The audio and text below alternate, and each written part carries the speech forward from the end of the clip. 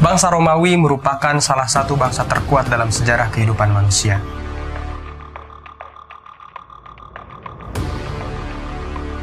Mereka memiliki kekuatan ekonomi maupun militer yang ditakuti oleh bangsa-bangsa lain di dunia.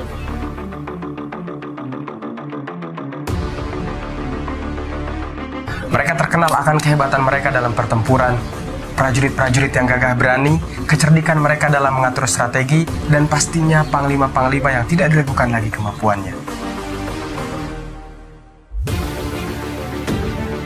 Kapal-kapal perang yang hebat, pasukan yang tangguh, serta persenjataan yang lengkap. Tidak kalah dari itu semua, mereka memiliki armada laut yang sangat luar biasa.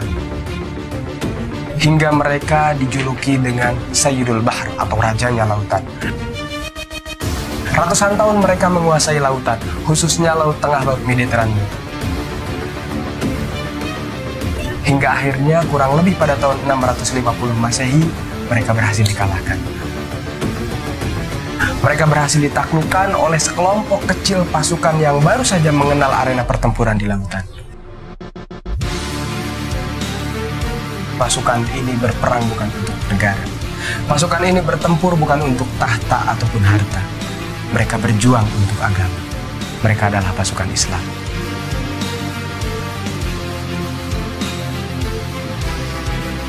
Sepeninggal Khalifah Islam pertama Abu Bakar As-Siddiq, kepemimpinan Islam dilanjutkan Umar bin Khattab. Di masa Umar bin Khattab, Islam sudah berhasil menguasai Mesir dan wilayah Syam seluruhnya. Ketika itu Muawiyah bin Abi Sofyan, seorang sahabat yang dilantik menjadi gubernur di wilayah Syam, mengajukan permohonan kepada Umar untuk membentuk pasukan armada laut demi mengamankan wilayah Islam khususnya di Laut Mediterania. Melihat kondisi Islam yang belum siap, kondisi Islam yang masih asing dengan lautan, terbiasa perang di padang pasir, Umar belum mengizinkan. Barulah di masa Uthman bin Affan, pasukan Islam sudah siap dari segi mental, fisik, persenjataan dan yang lain sebagainya, maka dibentuklah pasukan armada laut pertama di dalam Islam. Ketika itu Uthman bin Affan mengangkat seorang sahabat menjadi panglima pasukan angkatan laut atau lebih dikenal dengan admiral. Dia adalah Abdullah bin Sa'ad bin Abi Sarah. Abdullah bin Sa'ad bin Abi Sarah merupakan salah satu pejuang besar dinasti Islam. Ia juga berperan sebagai pembawa api tauhid bagi penduduk bumi. Khalifah Utsman bin Affan melantiknya sebagai pemimpin di tanah Mesir, menggantikan pemimpin sebelumnya yaitu Amr bin Mas. Selain menjadi pemimpin di wilayah Mesir, beliau juga berhasil membuka wilayah Libya, Tunisia, serta wilayah Sudan pada tahun 31 Hijriah.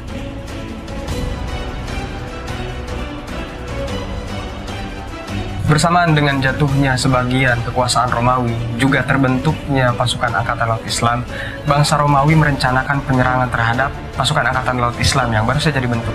Karena ini merupakan sebuah ancaman bagi kekuasaan mereka, khususnya di Laut Tengah Laut Mediterania. Ketika itu Konstantis II, cucu Heraklius, cucunya Raja Romawi, memutuskan dia sendiri yang akan memimpin pasukan tersebut. Maka berangkatlah pasukan Romawi dengan kekuatan seribu kapal perang lengkap dengan prajurit dan persenjataannya.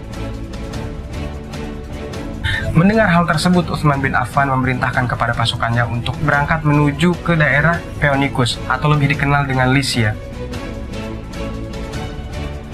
Maka bergabunglah dua kekuatan besar, pasukan dari Syam di bawah komando Busar bin Artoh dan pasukan dari Mesir di bawah komando Abdullah bin Sa'ad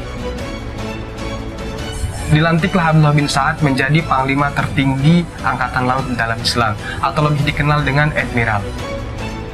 Maka berangkatlah pasukan Islam hanya dengan kekuatan 200 kapal perang saja.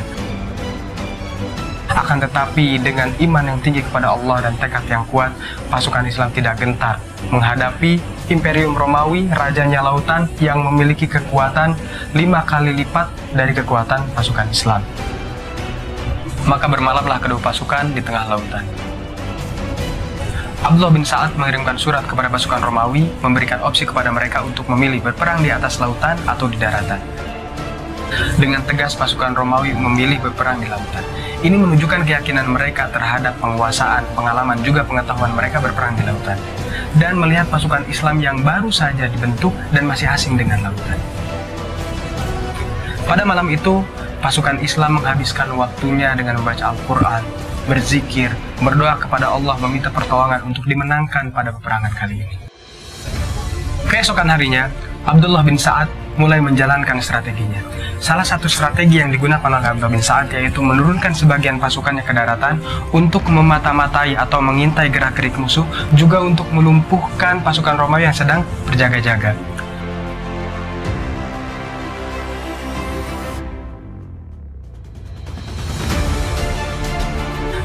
Bermulalah peperangan dengan saling melancarkan anak panah.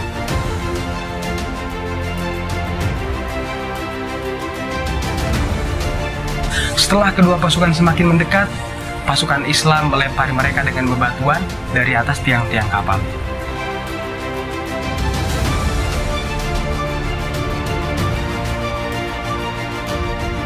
Setelah itu Abdullah bin Sa'ad menjalankan taktiknya yang sangat brilian meminimalisir keahlian bangsa Romawi berperang di lautan dengan merubah peperangan lautan menjadi pertempuran daratan di atas laut.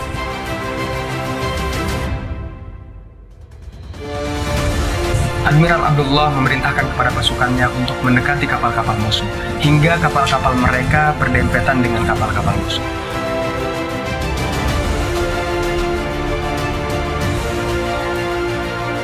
Barulah setelah itu Admiral Abdullah memerintahkan kepada Katibatul Dafalde atau lebih dikenal dengan pasukan kata untuk turun ke lautan dan mengikat kapal-kapal mereka dengan kapal musuh.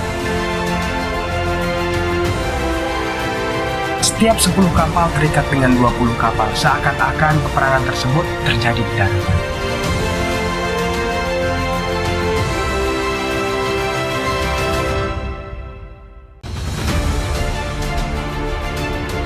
Pasukan Islam tetap bertahan menghadapi pukulan pasukan Romawi. Hingga akhirnya Allah memberikan kemenangan kepada pasukan Islam atas kesabaran mereka.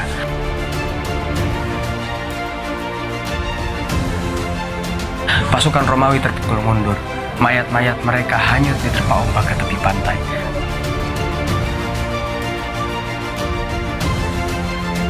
Pasukan Islam bertakbir rasa syukur kepada Allah Subhanahu wa taala.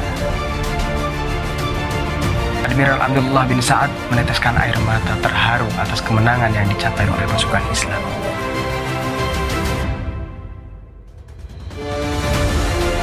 Maka berakhir sudahlah kekuasaan bangsa Romawi di lautan tengah laut Mediterania dan diambil alih oleh pasukan Islam.